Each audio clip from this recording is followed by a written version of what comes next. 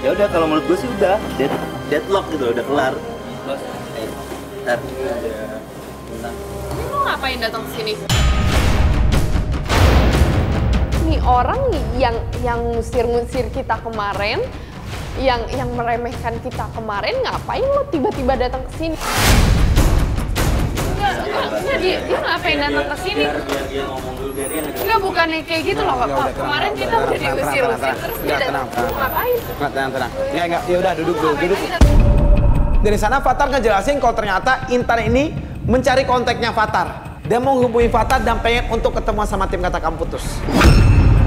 gue sebelumnya minta maaf banget sorry kemarin gue udah ngelakuin hal kayak gitu itu di luar di luar mau gue gue nggak tahu lagi. Kemarin tuh gue lagi kacau banget. Pasti kalau kalian ada di posisi posisi gue juga sama bakal ngelakuin hal yang sama kan?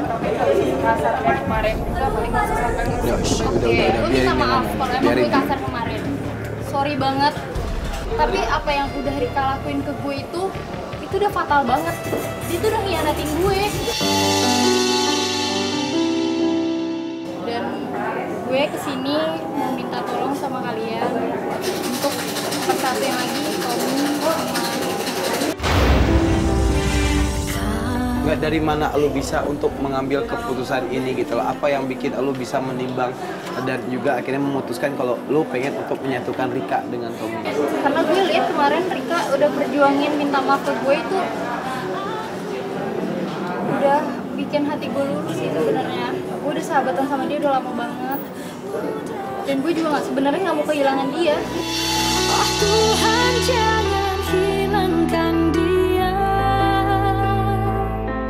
dari hidup Di sana dia bilang sama kita, dia sayang sama Rika. Dia peduli dengan hubungan persahabatan dia sama Rika.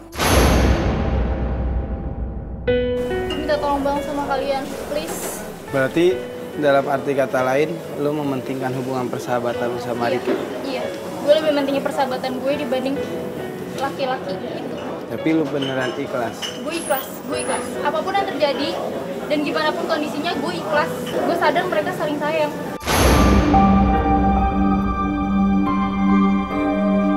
Karena karena dia pun pingin banget gitu ngelihat sahabatnya ini ya udah bahagia gitu. Gue pikir ini adalah jawaban dari doanya Rika. Lu hebat banget dan cuma mau sahabat gue balik lagi siap. Oke, Mal, Mal, Amal. Oke, eh, nanti detailnya seperti apa, lu ngobrol sama Amal dulu. Nanti kita bakal terus komunikasi sama lu, ya. Oke, pokoknya secepatnya kita akan membantu. Ya. Oke, good luck, good luck ya. Oke. Semuanya. Ya, sama-sama. Ya, berarti kalian berdua adalah sepasang sahabat sejati dan kita akan membantu lu berdua untuk memperbaiki masalah ini.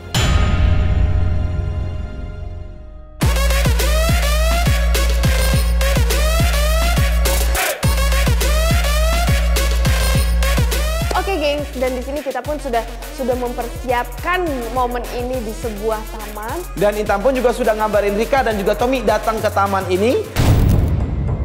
Fatar, Fatar, itu uh, semuanya udah di ready di sana tar uh, kamera-kamera alat penyenap suara tar.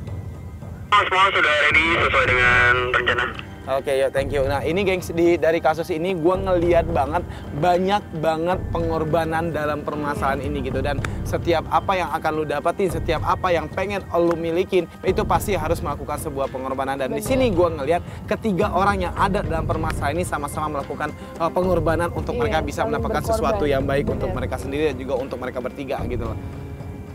Oke, yuk Tominya udah nyampe di sana, standby yuk.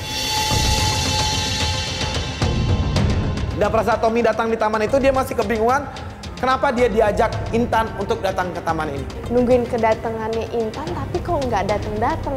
Dan tiba-tiba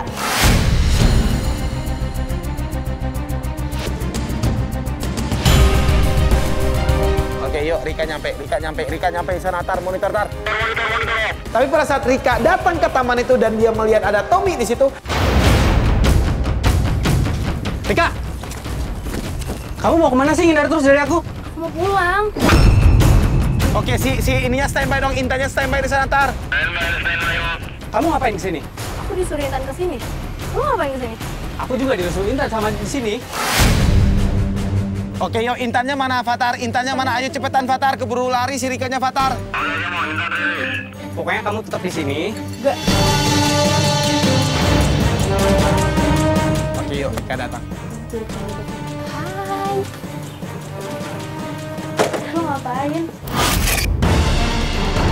Oke, mereka bingung kenapa ada Intan di sini dan juga ada mereka bertiga di sini. Sebelumnya gue bilang makasih sama kalian di sini udah sempetin waktunya untuk datang. Eh, Tom,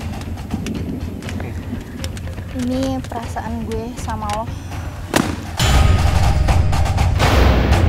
Maksudnya apa? Em, gue mau bilang kalau gue udah ngilangin cinta gue sama lo. Gue udah hilangin semua perasaannya sama lo. Gue udah ikhlas kalau emang lo harus sama Rika. Bagaimana bila semua benar terjadi Dan berarti di sini dia emang udah mengikhlaskan perasaan dia sama Tommy dan dia juga udah memaafkan Rika. Semua yang Rika omongin kemarin saat mutusin lo itu semuanya nggak bener.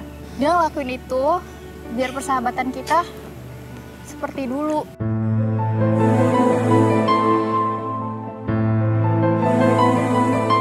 Dan dia bawa lagi satu balon dan ini balonnya dia kasihin buat Rika sama Tommy dan dia bilang Itu apa lagi? Lo ngapain sih ngelakuin ini semua buat gue? Gue udah salah sama lo. Om, Rik, ini tuh cinta kalian.